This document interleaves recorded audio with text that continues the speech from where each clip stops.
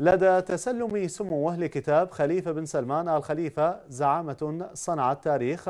أكد صاحب السمو الملكي رئيس الوزراء على أهمية توثيق الأحداث باعتبارها مصدرا من مصادر التاريخ ومرآة لمرحلة وطنية وحضارية تحفظ بالتوثيق من الاختفاء والتلاشي وتكون مرجعا للحقب الزمنية المختلفة. قائلا سموه إننا شهدنا أحداثا مهمة ومررنا بظروف عصيبة وعاصرنا مشاكل كبيرة من أجل هذا الوطن ورفعة شانه ونجحنا بعون الله وتوفيقه وبتكاتفنا قيادة وشعبا في أن نسمو بالبحرين. ونحفظها دائما واحة أمن وسلام واستقرار. وأن تاريخنا الوطني حافل ومسيرتنا الوطنية عامرة بالمنجزات في عهد جلالة الملك المفدى وقبله في عهد الأمير الراحل التي يجب أن توثق للأجيال المقبلة. فيما أشار رئيس مركز الخليج للدراسات الاستراتيجية الذي أصدر هذا الكتاب أن صاحب السمو الملكي رئيس الوزراء رمز من رموز الأمة العربية والإسلامية تستحق منجزاته وتاريخه ومسيرته العاطرة أن توثق فهي لزعيم عربي أسهم في بناء البحرين ونهضتها ودافع عن مصالح العرب والمسلمين في كل محفل.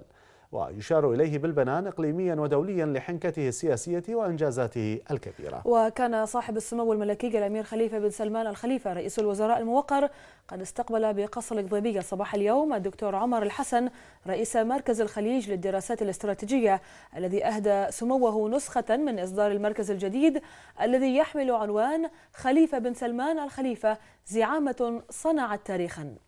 وخلال اللقاء أعرب صاحب السمو الملكي رئيس الوزراء عن تقديره للجهد البحثي الهادف إلى رصد وتوثيق مسيرة التقدم الحضاري والتنموي في مملكة البحرين وإبراز المحطات والأدوار التاريخية لكافة السواعد الوطنية التي أسهمت في بلوغ ما حققه حققته المملكة من تطور ونماء.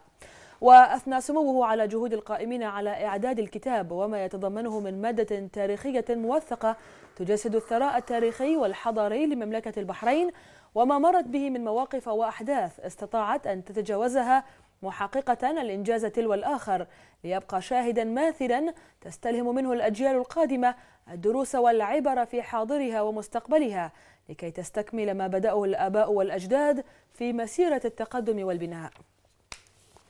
وأشاد سموه بما يقدمه مركز الخليج للدراسات الاستراتيجية من نتاج بحثي متميز أسهم في إثراء الحركة البحثية ورفض المكتبة الوطنية بدراسات وكتب نوعية تتناول الشأن البحريني من جوانبه المختلفة.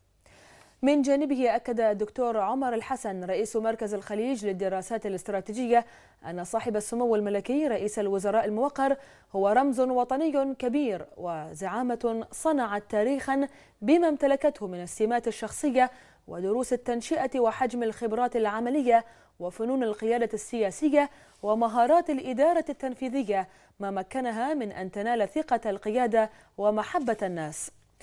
وقال إن سيرة سموة هي سيرة عطرة ومباركة وهي سيرة إنجازات يفتخر بها كل بحريني لما تحقق على أرض البحرين من نهضة وتقدم. مشيرا إلى أن هذا الكتاب وضع وبمقارنة مع عدة زعماء في كافة دول العالم كانت لهم إنجازاتهم وأن سموه كانت له بصمته في تاريخ مملكة البحرين. وأشار إلى أن سيرة ومسيرة صاحب السمو الملكي رئيس الوزراء تمثل تجربة مضيئة وملهمة للأجيال وأن العمل على توثيق هذه الرحلة الممتدة من الإنجازات لسموه هدفه إعطاء المثل والقدوة في أنه إذا امتلك الإنسان إرادة حقيقية وعمل من أجل تجسيد المثل والمبادئ التي يؤمن بها فإن النجاح سيكون حليفه وحليف وطنه.